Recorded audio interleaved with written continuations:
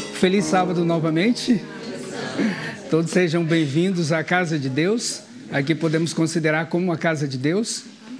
E é um privilégio para nós estarmos é, meditando na palavra de Deus. Já tivemos cantos, louvores, tivemos a nossa gratidão expressa através dos, dos nossos agradecimentos feitos aqui também, nossos pedidos de oração.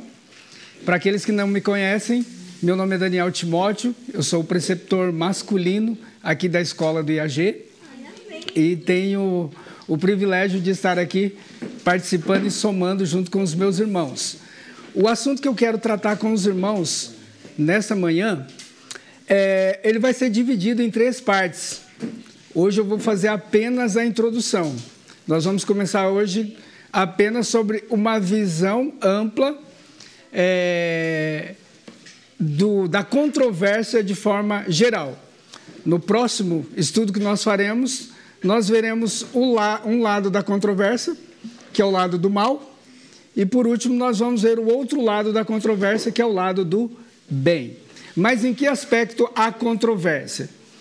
Há controvérsia na adoração. Por que controvérsia e não conflito? Eu já tinha escrito esse artigo há muito tempo atrás e ele tinha o título de Conflito na Adoração. Mas recentemente eu tive que mudar esse, esse título para Controvérsia na Adoração. Porque o conflito implica o quê? Uma batalha. E essa batalha precisaria ter pelo menos o quê? Os dois lados serem equiparados. Na controvérsia, não. Por quê? Eu falo assim que os lados não são equiparados. Porque Deus é o nosso quê? Criar Deus é o nosso Criador. E Satanás, ele, é, ele cria o quê? Ele pode se equiparar com Deus? Não. Ele é criar, criatura. E só para os irmãos dar uma olhada, eu gostaria que vocês abrissem as suas Bíblias comigo no livro de Daniel. Eu creio que estou falando para pessoas que entendem bem de profecia, entendem bem da Bíblia, entendem bem de Daniel. Então, é, eu vou só dar uma pincelada por cima no que está acontecendo aqui. E aqui nós temos Daniel no versículo 2 e no versículo 3, ele orando e jejuando e buscando a Deus por, por espaço de tempo de três semanas. Uma semana tem sete dias, três vezes sete vai dar o quê? 21. 21 dias que ele passou orando e buscando ao Senhor. E eu quero que você venha comigo agora no versículo 12. Então disse-me ele: Não temas, Daniel Pois desde o primeiro dia em que dispuseste o teu coração para entender e para humilhar-te perante o teu Deus, tuas palavras foram ouvidas, e eu venho por tuas palavras. Agora, olha o versículo a seguir. Porém, o príncipe do rei do reino da Pérsia resistiu-me por quanto tempo? 21 dias. Certo? Porém, Miguel, um dos principais príncipes, veio ajudar-me e permaneci por ali com os reis da Pérsia. Quem tem aí a Bíblia legado vai encontrar um comentário maravilhoso sobre o que, que aconteceu aqui, por que, o anjo permaneceu ali com os reis da Pérsia. O que, que ele estava fazendo ali? Ele estava trabalhando num conflito de influência e ele tinha que influenciar os reis, os reinos da, os reis da Pérsia para que promulgasse o decreto para a reconstrução de Jerusalém. uma coisa que é interessante aqui para nós pensarmos. Aqui quem está batalhando? Quem está batalhando é o quê? Satanás contra um dos anjos de Deus. Eu quero que você pense por um momento, no livro de Ezequiel, capítulo 28, você vai encontrar ali que Satanás ele era o quê? Um queru, querubim. Quantas asas tem o querubim? Quatro asas. Serafins tem seis. São quatro asas que tem um querubim. Uh, Adão.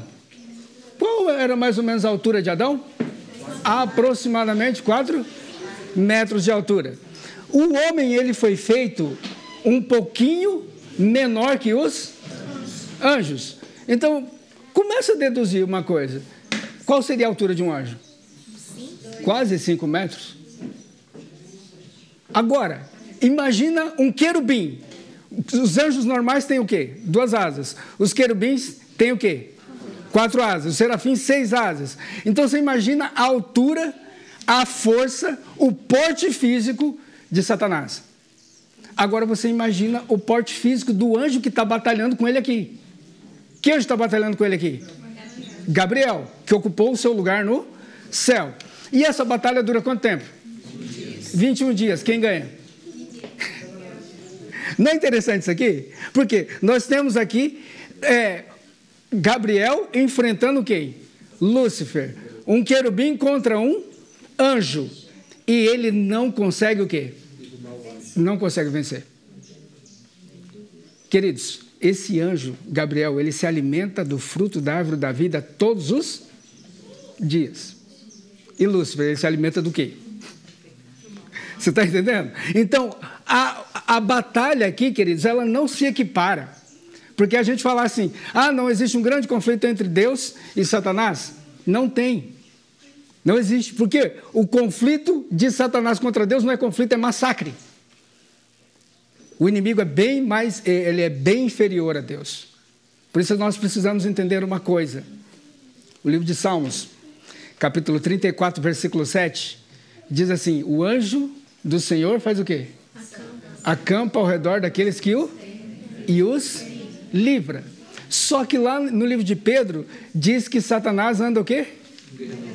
Em derredor, rugindo como um leão, procurando alguém que possa tragar. Note, Satanás ele anda em derredor. Agora, o anjo do Senhor acampa onde?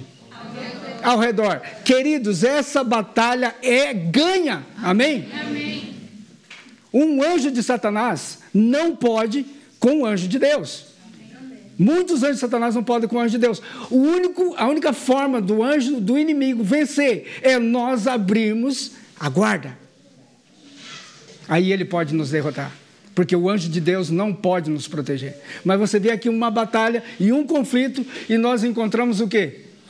Não tem um vitorioso. O vitorioso aparece quando entra em cena quem? Miguel, um dos primeiros príncipes. Então ele fica ali com os reis da Pérsia. Compreendemos aqui que existe uma grande controvérsia e não necessariamente um grande conflito. Essa controvérsia por quê? Controvérsia é o quê? Choque de ideias. O que é controvérsia? É um debate? É uma batalha? É um choque de opiniões. E é o que realmente vai acontecer aqui no quesito adoração. E eu quero tratar exatamente isso com vocês. Gostaria que vocês abrissem a sua Bíblia no livro de Salmos, capítulo 150. Antes de falarmos necessariamente de adoração, eu quero falar um pouquinho sobre louvor. O que, que é louvor? Salmo 150, versículo 6. Tudo quanto tem fôlego faz o quê? Louve. Ao Senhor. Louvai ao Senhor. Então, tudo que tem fôlego pode louvar ao Senhor. Vem comigo agora no Salmo 148. Louvai-o todos os seus anjos, louvai-o todos os seus exércitos, louvai-o sol, louvai-o lua, e todas as estrelas, estrelas luzentes, louvai-o vós céus, e vós céus dos céus, e vós águas que estiverem sobre os céus. Louvem o nome do Senhor, pois Ele comandou e foram criados. Ele também estabeleceu para sempre e sempre, e criou um decreto e não passará. Louvai ao Senhor desde a terra, vós dragões das profundezas. Fogo, granizo, neve, vapores, ventos tempestuosos cumprindo a sua palavra. Montes e todas as colinas e árvores frutíferas e todos os cedros e animais e todos os gados e coisas rastejantes e aves voadoras e reis da terra e todo o povo e príncipes e todos os juízes da terra, homens, jovens, donzelas, velhos e crianças, todos louvem ao Senhor. ao Senhor. Então aqui tem o que? Seres animados e seres inanimados. Tudo existe para louvar ao Senhor. Agora, o que é louvar ao Senhor? É só você ir para o dicionário. O que é louvar? Louvar é exaltar. Louvar é elogiar. Louvar é enaltecer. Isso é louvar. Agora, é possível você e eu louvarmos? É possível os pássaros louvarem? certo? Só que isso aqui é necessariamente adoração? Nós precisamos saber agora exatamente o que é adoração. Louvar, seres animados e inanimados podem louvar. E agora, e adorar? Como é que se adora? Romanos capítulo 12, versículo 1. Você conhece o texto. Suplico-vos, pois, irmãos, pelas misericórdias de Deus, de apresentar os vossos corpos em sacrifício vivo, santo e agradável a Deus, que é o vosso culto o quê? Para adorar, preciso ter o quê? Razão. Preciso, ter, preciso ser um ser racional, um ser pensante. Para louvar é diferente. Eu não preciso de razão para louvar. Mas para adorar é necessário ter raciocínio. É, agora, queria que, você que vocês abrissem a Bíblia comigo também no livro de Apocalipse. 22, versículo 8 e 9. Novamente para o dicionário, o que, que é adorar? Eu vou falar aqui antes de nós lermos, para vocês entenderem. O que, que é adorar? É um imenso sentimento de devoção. Essa é uma das declarações, tem várias. Vou apresentar três aqui interessantes, tá? Imenso sentimento de devoção, a primeira. Segunda, veneração, render culto. E por último aqui, demonstração de amor extremo. Isso daqui é adoração. Agora há pouco nós tivemos aqui entre os nossos pedidos e agradecimentos, nós tivemos aqui o agradecimento da, da Betsy. E eu me emocionei aqui enquanto ela estava agradecendo, porque você vê que é o quê? Sincero. É um agradecimento verdadeiro pelo que a irmã passou e porque agora está recuperada para a glória de Deus, não é verdade, irmã? Então, isso daqui é um ato que ela fez aqui em público de ador, demonstração a Deus de um amor o quê? Extremo. Isso daqui, aí você pensa assim, poxa vida, mas ela não colocou música. Será que música tem a ver com adoração? Faz parte, pode fazer parte. A música pode adorar o Senhor, mas como ela deve ser para que ela adore ao Senhor? Isso nós precisamos meditar um pouquinho para nós entendermos. Vocês estão em Apocalipse, né? Capítulo 22, versículo 8 e 9. Diz assim: E eu, João, vi essas coisas e as ouvi. E havendo-as ouvido e visto, prostrei-me para adorar, adorar diante dos pés do anjo. E ele, o que me mostrou essas coisas. Então ele me disse: Atenta, para que tu não faças isso. Porque eu sou teu conservo e dos teus irmãos, os profetas, os que guardam as palavras deste livro. Adore a quem? Adore a Deus. Então aqui, João, ele vai se ajou? se ajoelhar e prestar um culto a quem? Ao anjo. Uma demonstração de amor extremo, um ato público. Mas o anjo fala assim: não. Eu sou como você, sou conservo teu. Adore a quem? Adore a Deus. Então nós sabemos a quem nós devemos adorar. Ah, tem um detalhe. Cristo, tentado por Satanás, tem um momento que Satanás fala o que para ele? tudo isso te darei se prostrado me. Era só isso que ele queria. E o que, que Jesus responde para eles, queridos? Vai-te, Satanás. Está escrito, que, que, deve, que, que se deve fazer? Deve adorar apenas a quem? A Deus. Como é que eu adoro? Vamos ver o livro de Isaías, capítulo 29, versículo 13.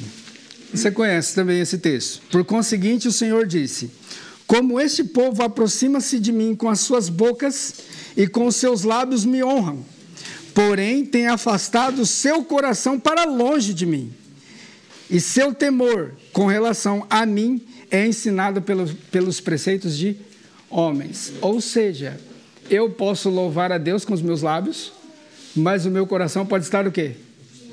Longe de Deus. Então o que é mais fácil, queridos? Louvar ou adorar? Louvar é muito mais fácil. Por quê? Eu posso louvar como? Eu posso exaltar. Eu posso enaltecer. Eu posso elogiar. Eu falo aqui para o Emanuel: olha que terno lindo, Emanuel. Você ficou muito bonito com ele. Eu acabei de louvar o Emanuel. Certo? Eu elogiei. Eu exaltei. Eu enalteci. Certo? Só que, como é que o Emanuel sabe que está no meu coração? Eu posso ter falado isso simplesmente o quê? Da boca para fora. Ele não sabe o que está aqui dentro. Agora, para adorar a Deus, queridos, não adianta você tentar esconder. Ele sabe o que vai no coração. Ele sabe o que vai no coração. Então ele sabe exatamente se você está o adorando ou é simplesmente da boca para fora. E é o que ele fala aqui. Esse povo está me honrando com os lábios, está cantando, está louvando, está pregando, está fazendo isso, fazendo aquilo, mas o coração deles está onde?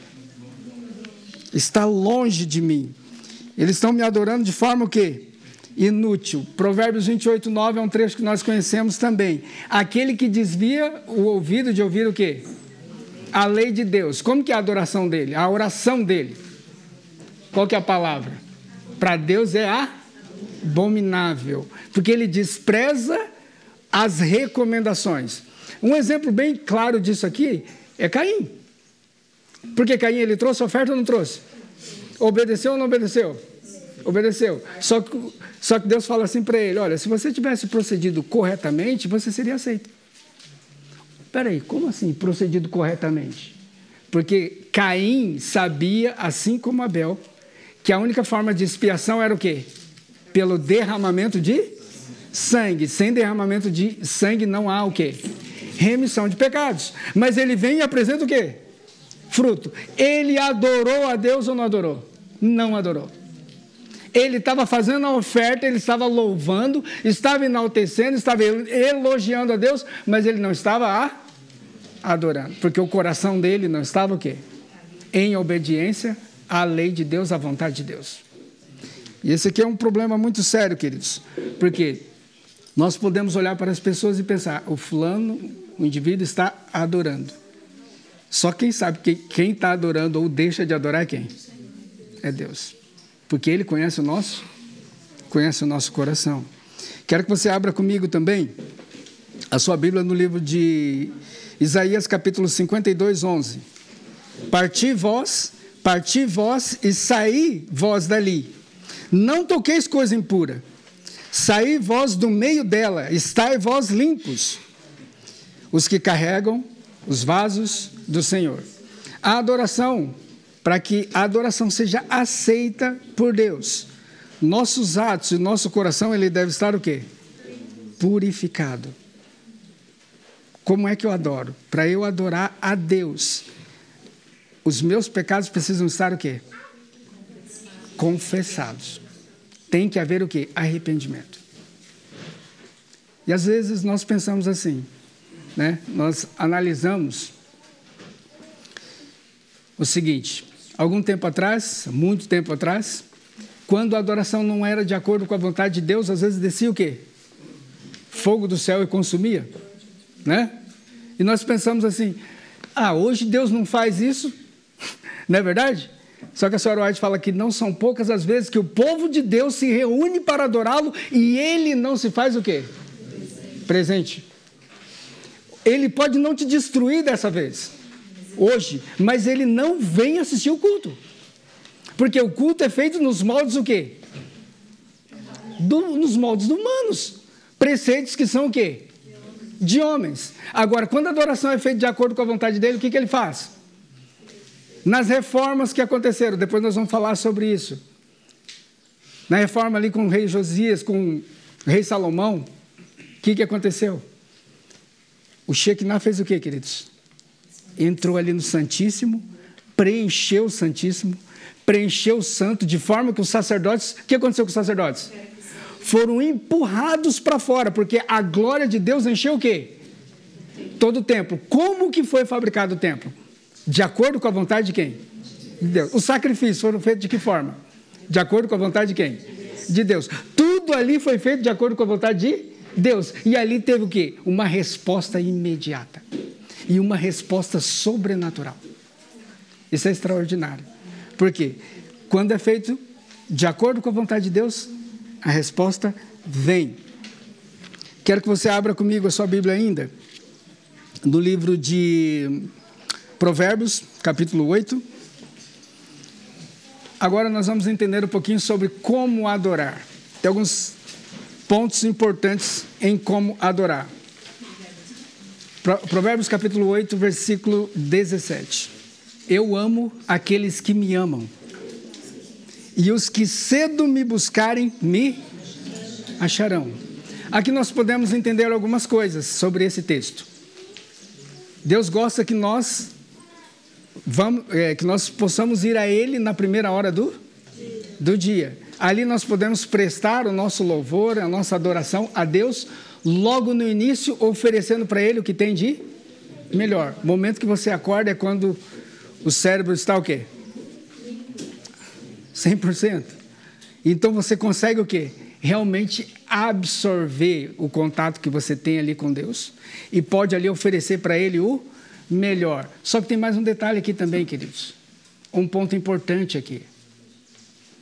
A minha mãe costumava dizer que quem anda cedo bebe água bebe água limpa. E tem um detalhe aqui, queridos. Que Deus ele gostaria que nós fôssemos o quê? Com relação à igreja e com relação ao local de culto. Que nós fôssemos o quê? Ponto pontuais. Aí você fala assim: "Ah, mas eu tenho isso, tenho aquilo, tenho aquilo". Com Deus é o quê? Tem um horário estipulado para estar na igreja? Tem. E o que, que eu devo fazer? Olha um texto, infelizmente esse livro não tem, Testemunhos para a Igreja, volume 3, página 499, diz assim: ó, pontualidade e decisão na obra e causa de Deus são muito necessárias. Atrasos são virtualmente derrotas. Atrasos são derrotas. Minutos são áureos e devem ser aproveitados da melhor forma possível. Relações terrenas e interesses pessoais devem sempre ser secundários.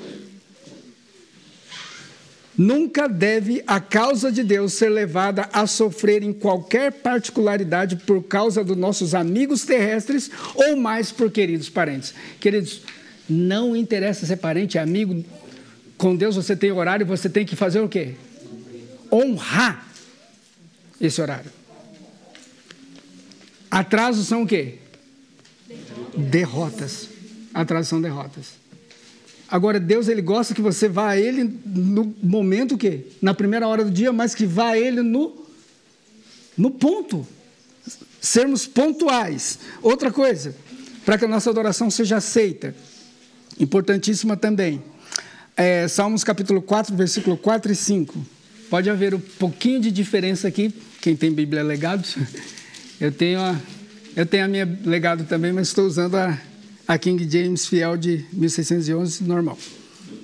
Diz aqui, ó: Ficai em pé em reverência e não pequeis. Conversai com vosso próprio coração sobre a vossa cama e ficai quietos. Olha o versículo que vem a seguir. Ofereceis sacrifício de justiça e ponde a vossa confiança no Senhor. Primeiro ponto aqui que nós precisamos entender. Está dizendo aqui o texto que nós devemos conversar com o nosso próprio quê? Coração. E eu devo ficar em pé em reverência e não não não pecar. Em pé em reverência, não pecar e conversar com o próprio coração. Mas peraí, como que eu vou ficar em pé em reverência e não pecar? O trecho que vem a seguir dá resposta. Como que eu posso viver sem pecar? Confiando no poder de quem?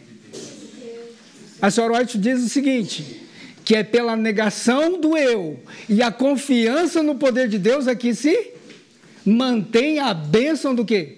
Da justifi... da justificação. Negação do eu e confiança no poder de Deus. Então, agora, tem um detalhe, queridos. Quando nós vamos para o louvor, vamos para a adoração, vamos para o culto. O que acontece demais, demais, demais, demais Vou fazer uma pergunta antes. Suponhamos que você está ajoelhado e está orando. No momento que você está orando, é muito difícil alguém pegar e fazer assim, não? Né, cutucar e cochichar alguma coisa. É verdade ou não? Na hora da oração. Mas e na hora do louvor? Isso acontece ou não acontece? O tempo todo. Cochichamos. Agora imagina como que esse louvor chega ao céu. Você está cantando a primeira estrofe, refrão do hino. Na segunda estrofe vem um sujeito, te cutuca. Você vai conversar com ele. Depois você volta de novo no hino. Como é que esse hino chegou lá em cima? Ele chegou com um intervalo ali, né? Teve um corte ali no meio. Isso foi aceito por Deus, queridos? É uma oferta o quê? Manca. Precária. Nós valorizamos muito o momento da oração, mas o momento do louvor também é o quê? É, é importantíssimo, é uma, é uma, oração também. É aqui, aqui está a adoração. E nós, às vezes, também temos o grande problema de a mente devagar.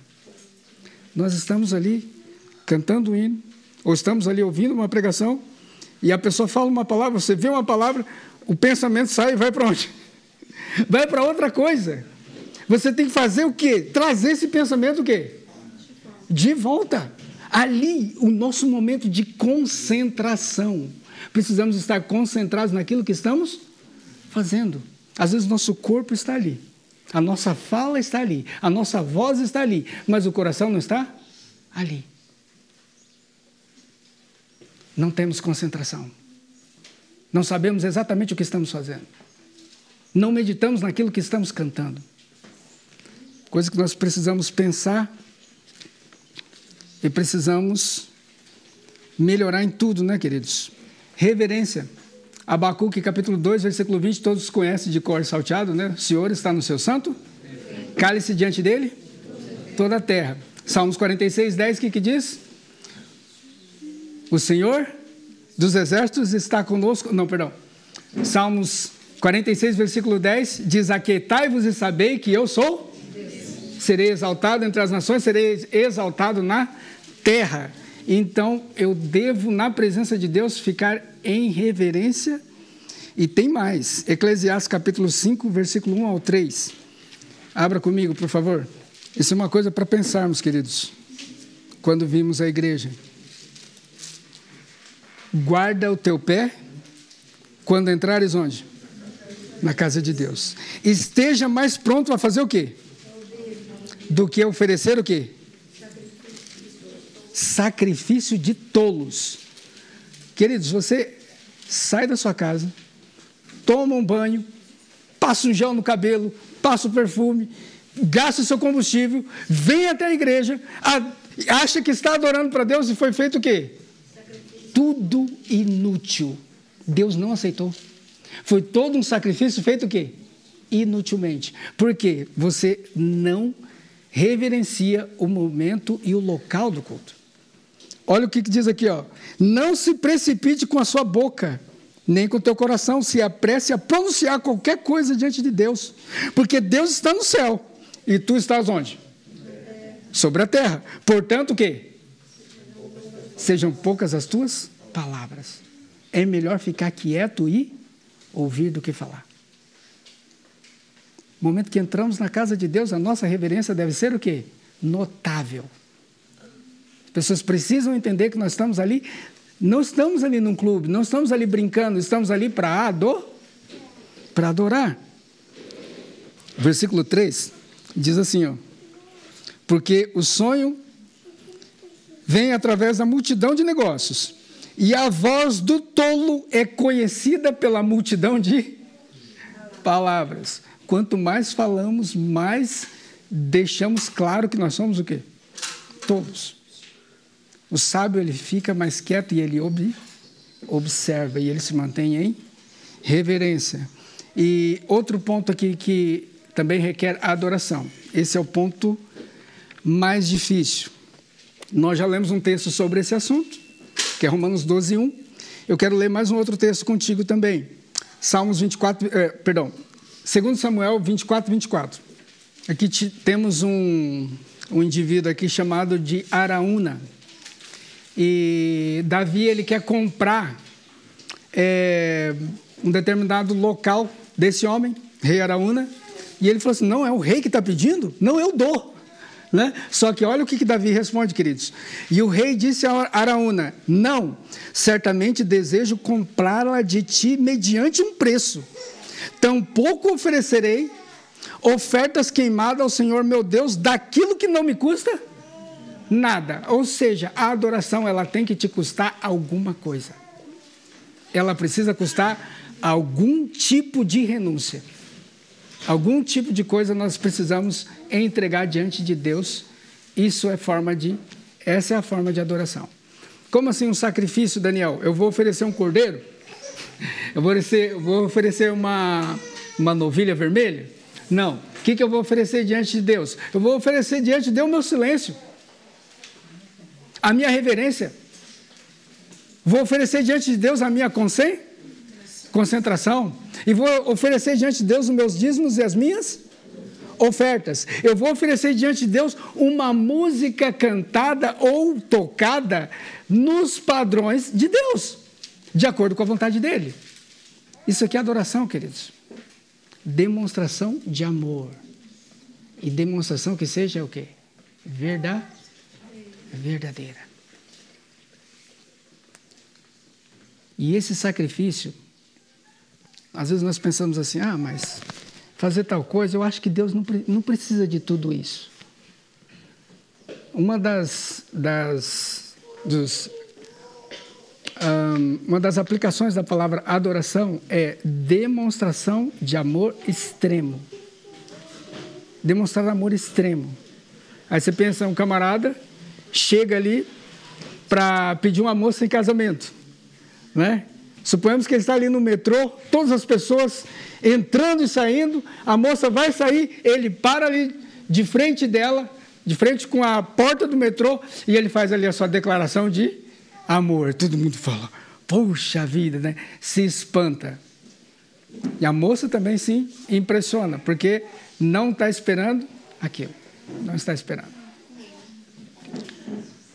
Agora eu, eu quero só chamar a atenção de vocês é, eu já ouvi muito, muita música não cristã, inclusive especialmente rock. E uma coisa que me impressiona muito nos roqueiros, não, na verdade, são nos fãs dos roqueiros. No Rock in Rio, queridos, tiveram pessoas que ficaram cerca de duas semanas acampados na frente do local do Rock in Rio para adquirir um mísero ingresso para poder entrar e ver o seu, o seu ídolo. E às vezes nós entramos na igreja, vamos assistir o culto, o pregador começa a demorar, a música não está do jeito que a gente quer, e a gente já começa a fazer o quê? Reclamar, cutucar o irmão, cochichar. Como é que está no coração? Estamos demorando, demorando na igreja à toa, queridos. A nossa adoração não, não está sendo aceita por Deus. Agora eu fico impressionado como pessoas se sacrificam por um emprego, se sacrificam por causa de uma faculdade, se sacrificam por causa de um namoro, um noivado, um casamento, se sacrificam por causa de um carro, uma casa. E tem dificuldade, queridos, de comprar uma lição da escola sabatina. Comprar um livro. Comprar uma meditação. Gastam e gastam e gastam, mas não gastam com aquilo que realmente tem o quê? Importância que realmente pode te edificar. Ah, mas o local de culto é muito longe. Ah, eu vou a pé lá. Que se fosse sua namorada, você iria.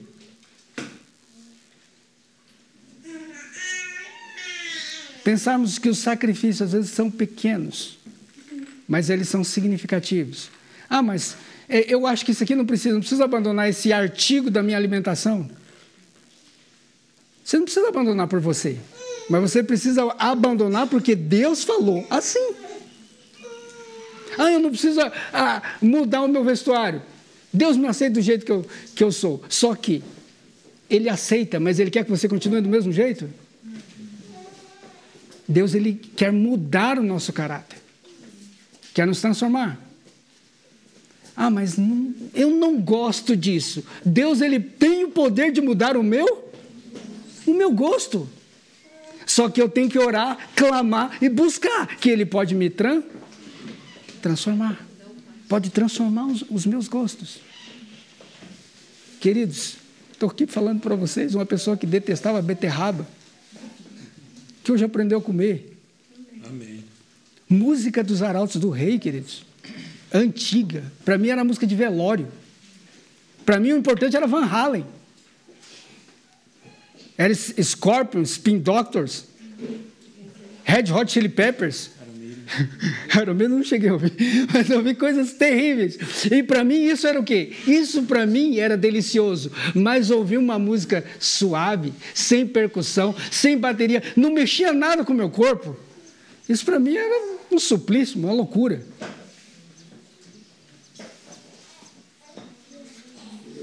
que, que Deus pode fazer conosco, queridos?